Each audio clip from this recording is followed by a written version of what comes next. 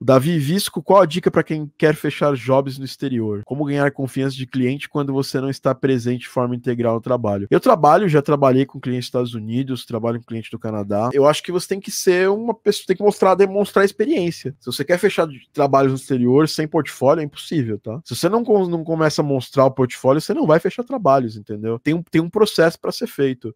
Raramente você vai conseguir um trabalho, a menos seja alguém que você conhece já, sem estabelecer um portfólio interessante né? Se você não tá presente, cara, não é um problema, porque hoje os trabalhos você vai definir um prazo para entregar, você vai definir um, um, uma pipeline do desenvolvimento do projeto, tudo isso você não precisa estar presencialmente. Todo o Garden Pulse foi desenvolvido comigo remotamente. Eu tenho casos de clientes, como a galera do, do Gravity Heroes, a galera da, da, Sinergia, que eu encontro porque eles estão em São Paulo, mas é, isso, isso é, essa é exceção à regra. Normalmente um projeto desse é tra tratado de forma remota, entendeu? É, a gente vive um paradigma paradigma completamente diferente da, do, da sociedade em termos de trabalho. Em tecnologia, todo mundo que trabalha com tecnologia já está trabalhando remotamente. Você não precisa mais estar do lado da pessoa. É só você estabelecer uma rotina né, e um processo de trabalho onde você vai ter que ter contato com a pessoa para tirar suas dúvidas, para gerar isso, para gerar essa, essa confiança aí de que o trabalho vai sair. É só você, você quer gerar confiança, tem que dar confiança. Né? Muito obrigado por assistir esse vídeo da Game Audio Academy.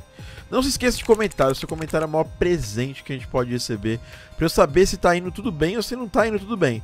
Se puder também avalia, né? E nem de ver os vídeos estão aparecendo aí na tela para você com mais conteúdo sobre áudio para games. Espero que você tenha gostado e até o próximo vídeo.